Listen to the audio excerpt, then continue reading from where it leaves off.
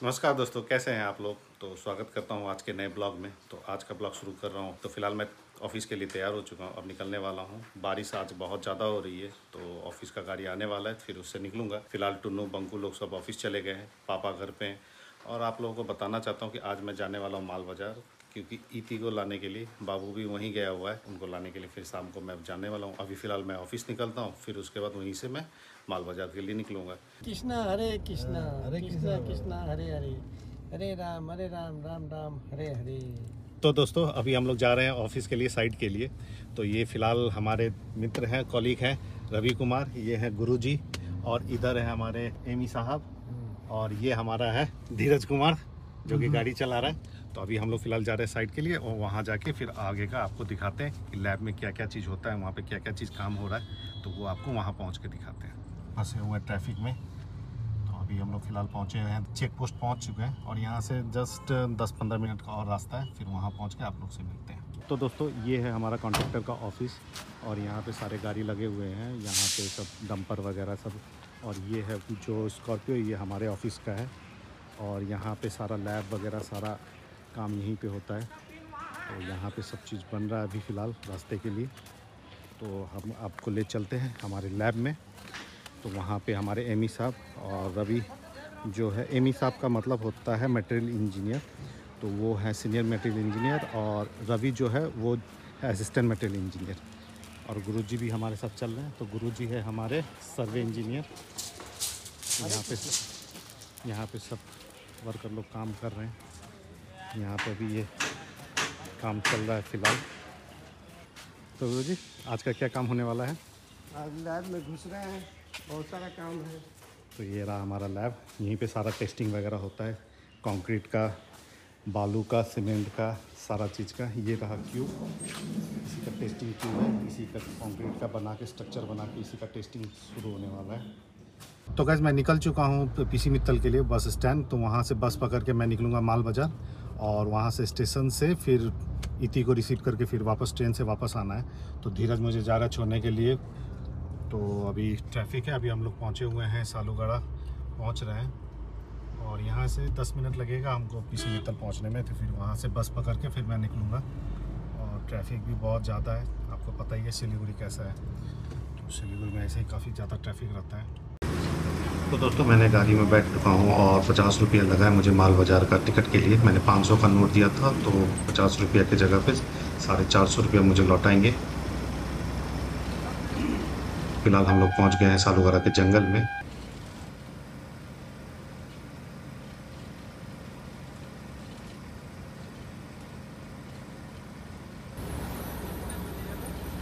तो दोस्तों, हम लोग पहुँच चुके हैं अब सेवक बाज़ार।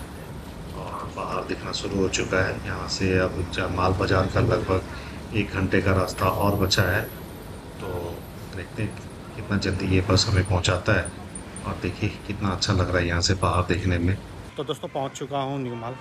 आपको बता दूँ माल बाज़ार यहाँ से बस अ, मेरे ख्याल से पाँच किलोमीटर दूर होगा और रेलवे स्टेशन है वो है न्यू माल में। तो इस तरफ़ है न्यू माल स्टेशन तो यहाँ से हमको जाना है इस तरफ़। तो फ़िलहाल रेस्टोरेंट मिला है, यहाँ पे कुछ खाना खाते हैं, भूख लग चुका है। दोपहर का बज रहा है अभी दो तो पहले खाना खाएँगे, फिर जाके स्टेशन पे इति का वेट करेंगे। मैंने उसको बताया नहीं कि मैं यहाँ आया हूँ तो स्टेशन आएगी, वो देखेगी, फिर उसको सरप्राइज़ देंगे। तो चलिए अंदर चलते हैं और जाके देखते हैं खाने पर क्या है। तो दोस्तों, मैंने यहाँ पे ऑर्डर किया था भेज थाली तो यहाँ पे मिला है सब्ज़ी, दाल, चावल और कुछ चिप्स वगैरह।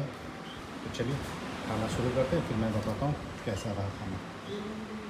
तो दोस्तों, खाना पीना हो चुका है। खाना भेज था, उतना खास उतना था नहीं।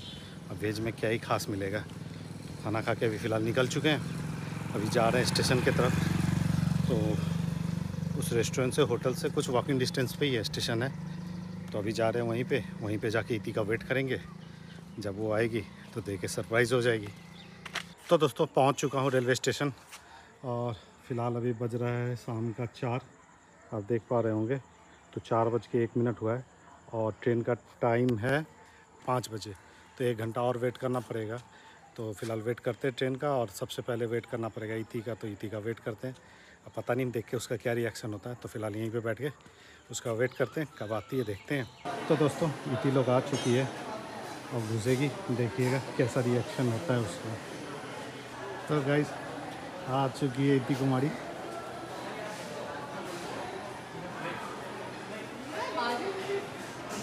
सरप्राइज़ का किंग है हम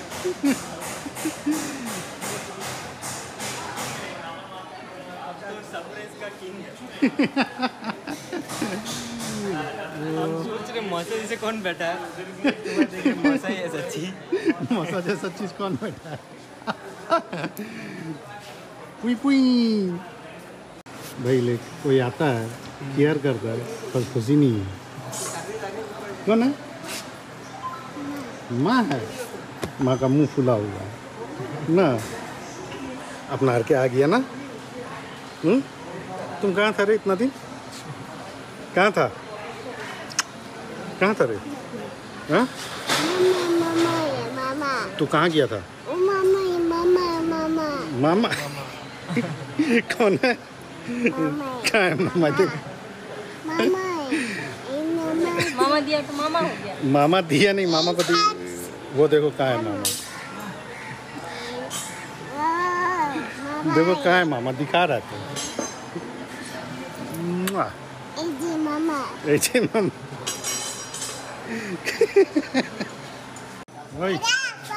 हम्म। छोटा बाबू है। तू क्या बड़ा बाबू है? हाँ। तो दोस्तों ट्रेन खुल चुका है और हम लोग ट्रेन पे बैठ चुके हैं। तो फ़िलहाल अभी ट्रेन से निकलता है। अभी ये ट्रेन यहाँ से जाके सेवक में रुकेगा और उसके बाद सीधे सिलीगुड़ी जंक्शन। तो वहाँ से फिर घर जाएँगे। तो दोस्तों, देखिए, हम लोग का भी ट्रेन चलना शुरू हो चुका है।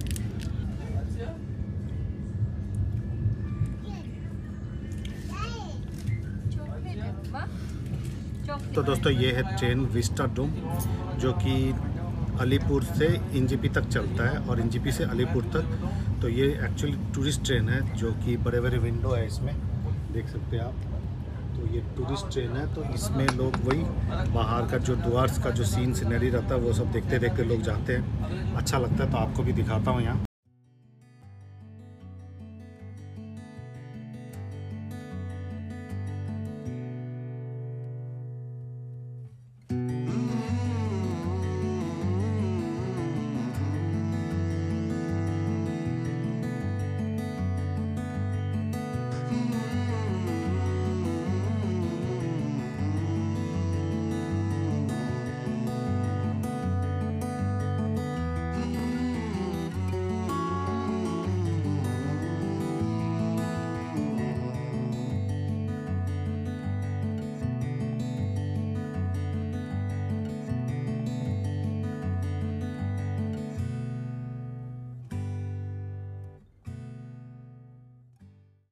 तो दोस्तों, यहाँ से आप देख रहे हैं कि इधर में सिर्फ़ चाय बागान है और जंगल है। और हम लोग पहुँचे अभी बगड़ाकोट स्टेशन क्रॉस कर चुका है वहाँ से आगे निकल चुका है। तो आप जैसे देख सकते हैं, कितना अच्छा नेचुरल हरियाली दिख रहा है। तो दोस्तों, ये रहा तिस्टा ब्रिज रेलवे का और ये है तिस्टा नदी। और वो ब्रिज का आगे का देखिए यहाँ पे पूरा फॉग लगा हुआ है पानी के ऊपर।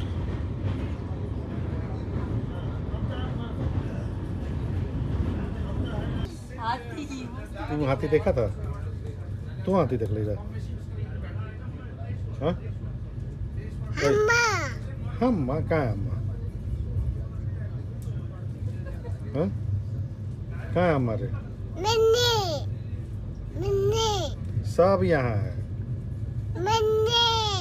बकरी भी है। क्या ना बोले बकरी? अब बिल्ली कैसे बोलता है.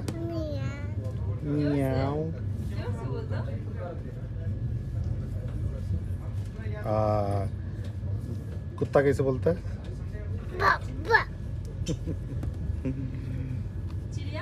चिड़िया रानी?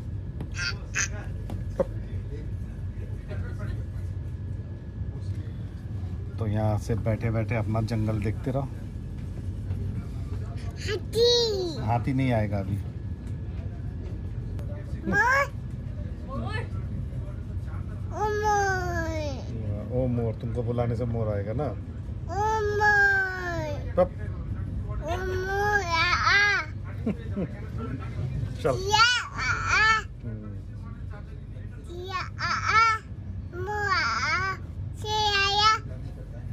सबको बुला ले। तो दोस्तों, हम लोग पहुँच चुके हैं बाहर, स्टेशन के बाहर। अब धीरज का वेट करें, धीरज गाड़ी लेके आएगा, फिर उसके बाद हम लोग घर के लिए निकलेंगे। तो अभी बाहर में थोड़ी देर उसके लिए वेट करते, वो निकल चुका है घर से, बस आएगा, पहुँचेगा, फिर हम लोग गाड़ी से फिर घर जाएँगे। तो भाई धीरज आ चुका है। तो ये रहा हमारा गाड़ी। आ चुका है धीरज तो अब बैठते हैं और निकलते हैं फिर घर के लिए। तो सामान लेते हैं यहाँ से। यहाँ पे ये लोग बैठा हुआ है। चलो। सामान लेते हैं। अच्छा लो। उसको ले लो। तो दोस्तों धीराज आ चुका है। अब गाड़ी में भी बैठ चुके हैं। स्टेशन से निकल गए अब चलते हैं घर को। काफ़ी भीड़ था इसलिए इसको आने में भी लेट आया। कुछ थोड़ा वेट भी करना पड़ा इसके लिए। तो आप भी देख सकते हैं सिलीगुड़ी का ट्रैफ़िक। कितना ज़्यादा ट्रैफ़िक होता है। जबकि हम लोग का घर से जंक्शन का डिस्टेंस ज़्यादा से ज़्यादा तीन से चार किलोमीटर होगा और लगभग यहाँ आने में लगता है आधा घंटा से पैंतालीस मिनट। इतना ज़्यादा ट्रैफ़िक होता है। और इधर में ये बैठ गया है पीछे। दोनों माँ बेटा। वही क्या हुआ? शांत हो गया है ये। आते आते ये पहुँच गया दादू के पास और देखो दुला तो हम लोग पहुँच चुके हैं घर पे अभी। और ये? बाबा पोता का रुमाल दे दे Oh, ये लो ये लो रुमाल तुम्हारा हाँ बाबा का रुमाल है। और आप आप चाचू का गोदी में चुमा दे दो आ अरे जा जा जा गिरा ही है दिया हाँ गिर गया तो गिर ही गया और एक पप्पी ले लेते ऐसे करके हाँ ले लो ले लो हाँ। तो दोस्तों फाइनली घर पे पहुँच चुके हैं इति कुमारी इधर में आके एकदम तो अभी हम लोग फ्रेश होते हैं फ्रेश होकर उसके बाद हम लोग थोड़ा सा नाश्ता वास्ता करते हैं चाय वाय पीते हैं। तो गाइस आज के ब्लॉग में आपने देखा कि कैसे कैसे क्या क्या करना पड़ा इति कुमारी को लाने के लिए। और यहाँ देखिए बस एक ही काम है हँसते रहना। तो आज के ब्लॉग में आपने देखा कि सुबह ऑफ़िस गया ऑफ़िस से फिर उसके बाद माल बाज़ार गया माल बाज़ार से फिर इसको लेके आया। तो फ़िलहाल के लिए बस इतना ही। तो मिलते हैं अगले ब्लॉग में। आज का ब्लॉग यहीं पे ख़त्म करते मिलते हैं अगले ब्लॉग में। तब तक के लिए बाय